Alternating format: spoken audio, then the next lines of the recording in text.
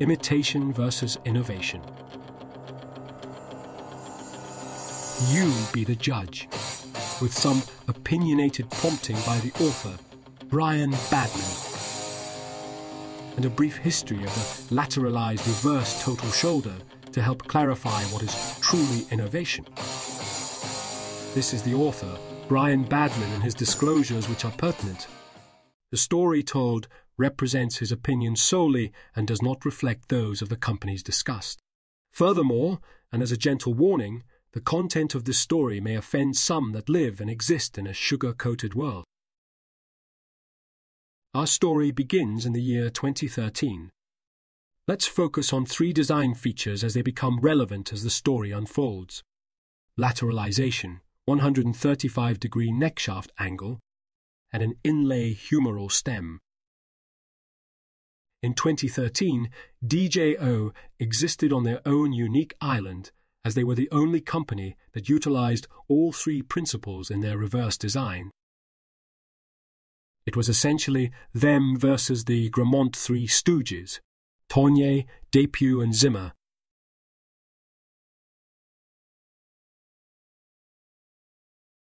And you might be thinking, well, who is Grammont? And that would be a very good question.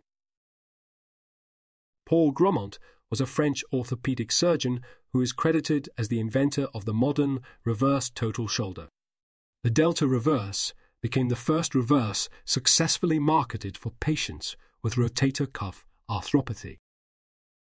The Delta was released in 1987 with the chief design theory behind its success being the placement of the center of rotation of the glenosphere, medial, at the face of the glenoid. This was thought to reduce stress and avoid baseplate failure. Bien sûr, le centre médical de rotation est parfait. Unfortunately, this was purely conjecture and expert level opinion, which eventually led to greater problems later. And this, my friends, is what we call foreshadowing. By 2013, Grammont users were having all sorts of problems and were in pretty rough waters. This included issues with high grade notching, poor functional results with external rotation, issues with instability, over lengthening of the arm and neurological consequences, and even some crazy discussion of deltoid fatigue as an excuse for poor outcomes. So your question is, what is notching? Well, let me explain. Notching is the rubbing away of the glenoid bone caused by impingement of the humeral cup while the arm is in adduction. And this is what it looks like. Oh, Lordy! Well, that can't be good. I would agree, but initially it was felt to be insignificant. This paper won the Neer Award in 2005. The Neer Award is the highest award given annually for shoulder and elbow research by the American Shoulder and Elbow Society. The authors noted that, while notching occurred in 68% of cases, it did not seem to be a problem. And I quote Although impingement may explain grade 1 or 2 notch, it seems unlikely to be the direct cause of a notch extending beyond the inferior screw. This story, however, became a whole lot different come 2009. In a follow up paper by the same lead author, now four years later, notching is now believed to be kind of a big deal. The lead author concedes. The specific design of the Grammont reverse prosthesis is responsible for impingement of the humeral cup on the inferior margin of the scapular neck. There's nothing worse than long term data ruining short term outcomes, but such is life. Notching has since been shown to have a direct negative correlation on patient outcomes in several publications, including Simovitch, Crosby, and Walsh, just to mention a few. Sacre bleu. Putain. Ben Maire de France, on peut avoir un problème. Sometimes the toughest mistakes to accept in life are your own. Especially when millions and millions of dollars in inventory are at stake. So what exactly did they do? Well, they kinda made things up. and a whole slew of workarounds emerged, such as distalizing the glenosphere, tilting the glenosphere inferiorly, or even adding a bone graft between the baseplate and glenoid. Some experts with Tournier fancied the name up, labeling it BioRSA. So, let me get this straight. They wanted you to add a dead piece of bone between the baseplate? And then you were expecting the baseplate to ingrow into that? That sounds kinda stupid. Exactly. It doesn't make sense. Wouldn't it make more sense to use an implant that already does this? Once again, you are spot on. But that's not what happened or how our story goes.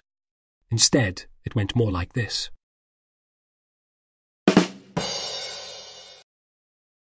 Meanwhile, back in DJO land, while the Stooges were chasing their tails, life was good. At this point, it was pretty much smooth sailing. Study after study continued to be published emphasizing the primary principles that DJO had incorporated into their reverse design from their very beginning. And those three principles, once again, just as a refresher, are the 135 degree neck shaft angle, a lateralized glenosphere, and an inset humeral stem. The combination of all three resulted in the elimination of high grade notching, a dramatic improvement in external rotation, and better long term implant survivability. Well, who came up with these ideas that DJO incorporated? That's an excellent question, as the path for DJO was not always smooth, especially the path of the person with all these brilliant ideas. Let us now meet Dr. Mark Frankle.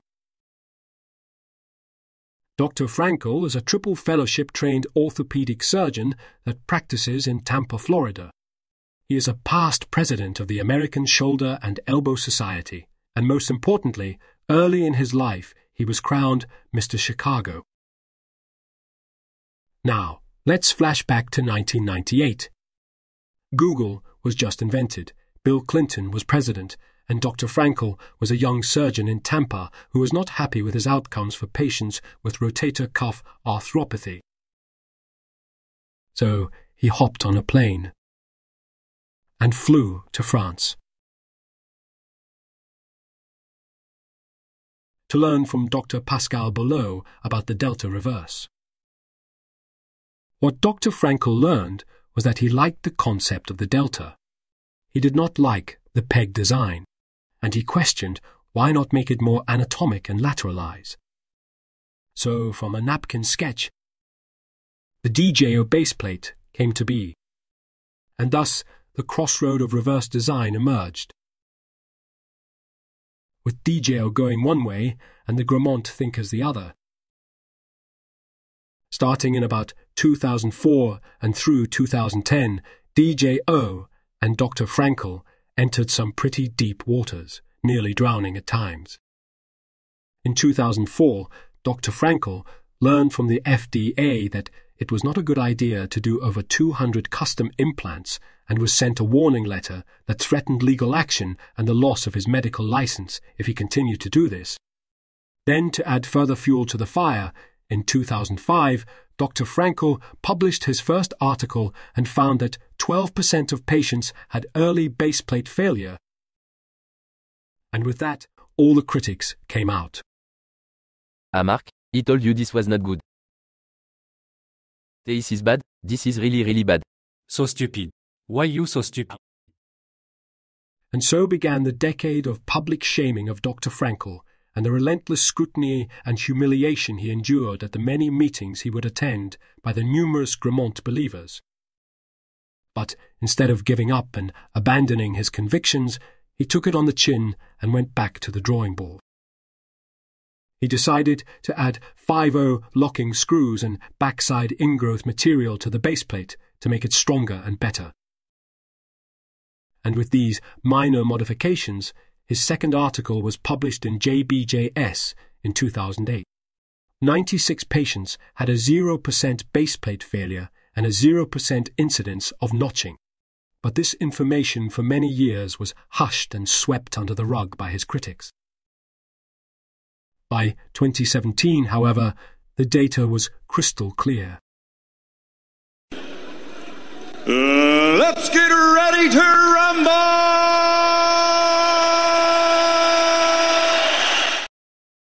Grammont 10 year data 93% survivorship, 73% high grade notching, 29% complication, and a deterioration of results beyond six years. Frankle 10 year data in comparison. Same survivorship with 9% incidence of low grade notching, 9% complication, and no deterioration of results at late term follow up.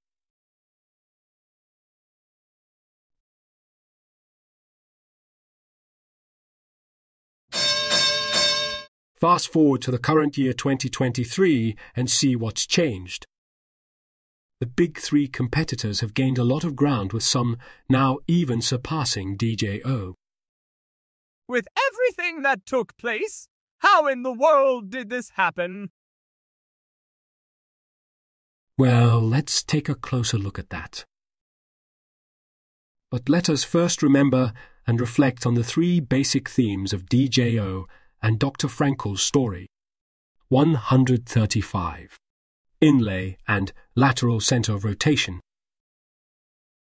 Now, this is the current year market analysis for total shoulder arthroplasty.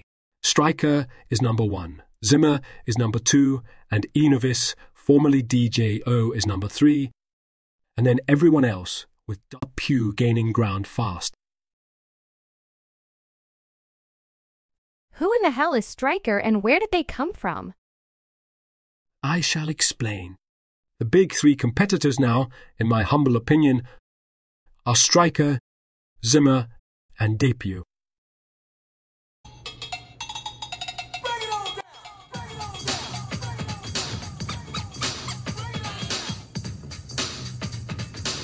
First up is DePuy, a Johnson & Johnson company. They were also the OG, but in this instance, OG implied the original Grammont. They went all in on his design philosophy.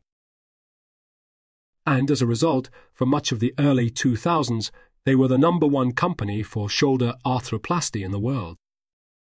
They more or less took the Mr. Chow approach to the marketplace.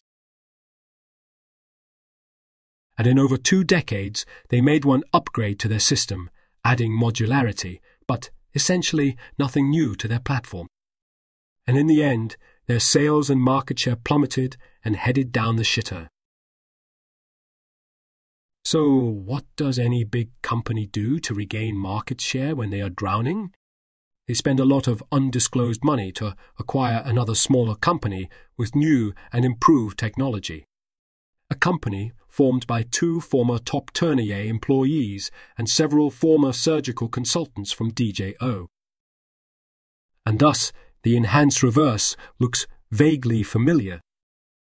Inlay, 135 neck shaft angle, and lateral offset glenospheres, coincidentally the same spherical size as DJO. Which then begs the question initially posed in the title of this presentation. Is this imitation or does this represent innovation? I am going to stamp this as imitation. And now, let's take a look at Zimmer. Also, an OG, they attempted to make an improvement with the introduction of trabecular metal, which, unfortunately, was to the grave dismay of many future revision reverse surgery. Then, in 2014, Zimmer acquires Biomet for over $13 billion. Following the acquisition, they loved their shoulder so much that they threw it in the garbage and focused on the Biomet platform. Biomet was unable to pick a side, so they created a shoulder system with a hodgepodge of both principles a valgus Grammont style stem and a Frankle like glenosphere. And in 2023, Zimmer launched their Identity shoulder system, which, with no pun intended, begs to ask the question what is your true identity? An imitator or an innovator? Now, Having come full circle, this, my friends, is an imitator. And last, but not least, is Tournier, I mean, Wright Medical, I mean, Stryker. Well, let me explain.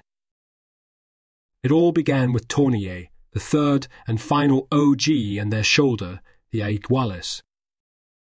When problems started to surface to their credit, instead of burying their heads in the sand like others, they went back to work and tried to make improvements. In 2013, the second iteration was launched. Now, a modular platform system with an onlay stem.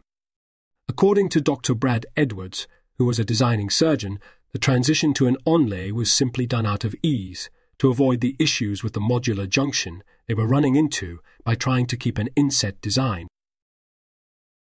The onlay design, they came to discover afterwards, created more humeral lateralization.